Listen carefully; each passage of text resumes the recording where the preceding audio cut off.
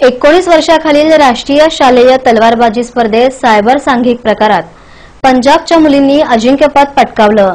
महाराष्ट्र मुलींच्या संघाला मात्र तिसऱ्या क्रमांकावर समाधान मानावं लागलं. केगाव येथील सिंहगड इन्स्टिट्यूटच्या कॅम्पसमध्ये सुरू असलेल्या एकोणीस वर्षाखालील शालेय राष्ट्रीय तलवारबाजी स्पर्धेत मुलींच्या सायबर या सांघिक क्रीडा प्रकारात पंजाबच्या मुलींनी अजिंक्यपद पटकावलं. तर महाराष्ट्राच्या मुलींच्या संघाला तिसऱ्या क्रमांकावर समाधान मानावं लागलं. ईपी मुलांच्या सांघिक प्रकारात महाराष्ट्र संघानं उपउपांत्य फेरीत प्रवेश केला.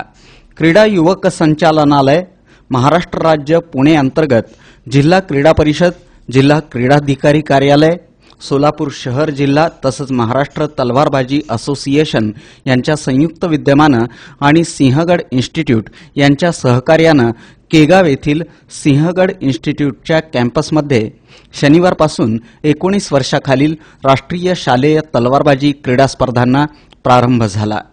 सायबर या सांघिक प्रकारात पंजाब संघानं तामिळनाडू संघाचा पंधरा अकरा असा पराभव करून अजिंक्यपद पटकावलं.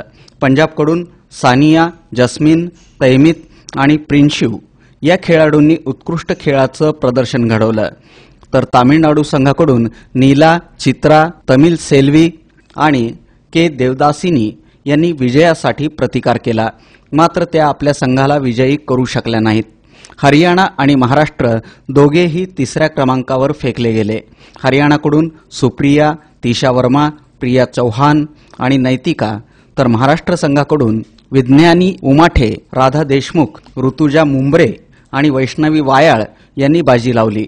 एकूणच महाराष्ट्र मुलींच्या संघाला तिसऱ्या क्रमांकावर समाधान मानावं लागलं.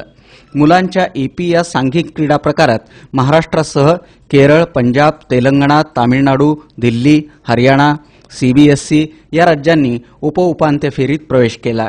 या स्पर्धेसाठी महाराष्ट्रासह दिल्ली हरियाणा केरळ उत्तर प्रदेश मध्य प्रदेश विद्याभारती सीबीएसई आंध्र प्रदेश तामिळनाडू चंदीगड गुजरात झारखंड जम्मू काश्मीर छत्तीसगड बिहार या सोळा राज्यातील तीनशे खेळाडू सहभागी झाले आहेत. या स्पर्धा ईपी फॉईल आणि सेबर या वैयक्तिक आणि सांघिक प्रकारात होत आहेत.